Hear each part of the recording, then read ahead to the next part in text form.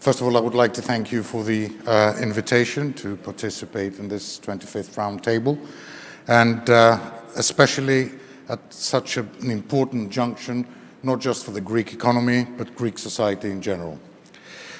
Uh, the state, and I don't need to recap on, on the measures, I think that they've been uh, repeatedly heard over the last few months, has taken many measures for supporting uh, the business community and, of course, above all, jobs. However, careful planning will be required in order to support the economy's recuperation after these measures uh, are lifted.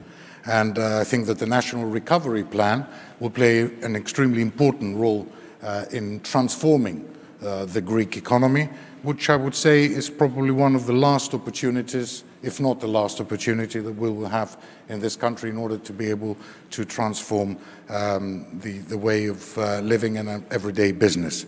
However, we need to assess what is the current situation and what we need to change and what we need to reform.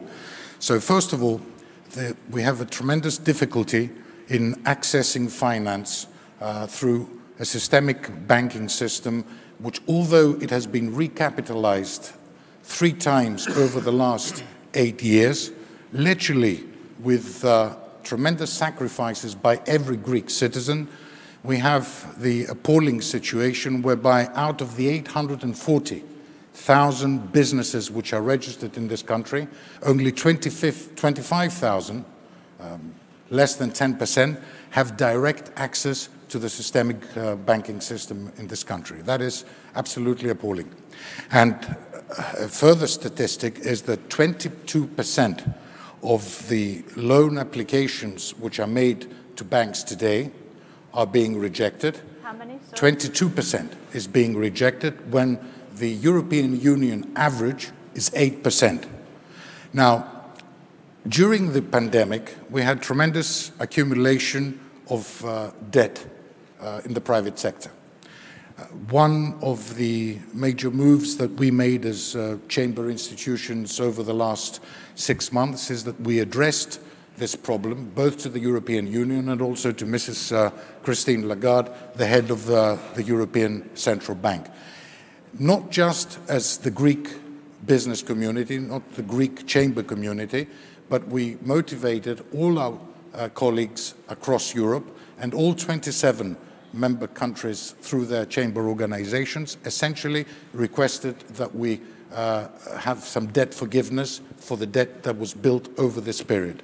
Unfortunately, only about a month ago, I received uh, uh, a negative response from uh, Mrs. Um, von der Leyen, and essentially what she concluded in her, um, in her response was that it is against the principles of the uh, EU when the EU or the EEC at that time was uh, uh, originated what we need to remind Mrs. Lagarde and Mrs. von der Leyen is that when the EU was originally designed in the late 50s, in the mid 50s, uh, we didn't have a pandemic. So although I firmly believe that at the end of the day we will end up with debt forgiveness. I hope that it will take place sooner rather than later, because if it takes place later, we're going to have many victims as far as the business community is concerned. I repeat, not just in Greece, but throughout, uh, throughout Europe.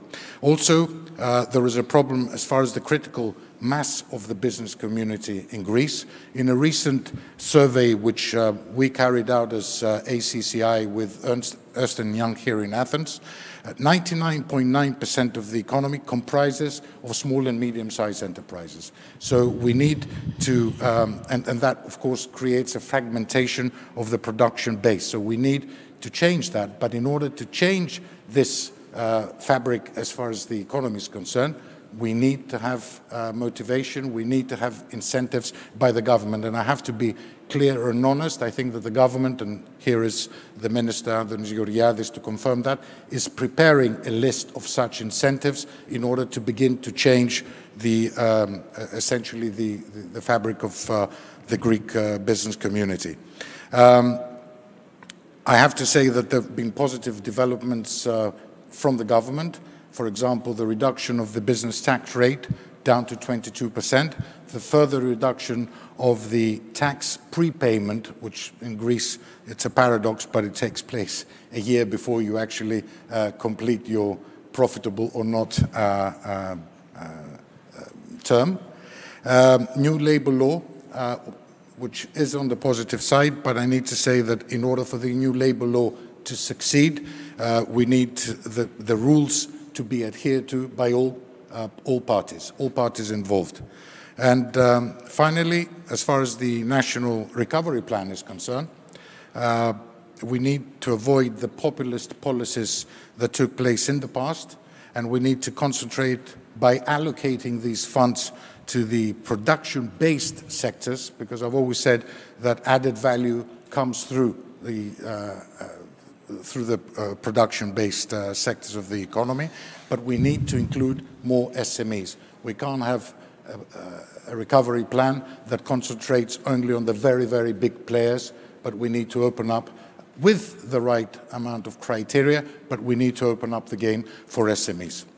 Thank you very much.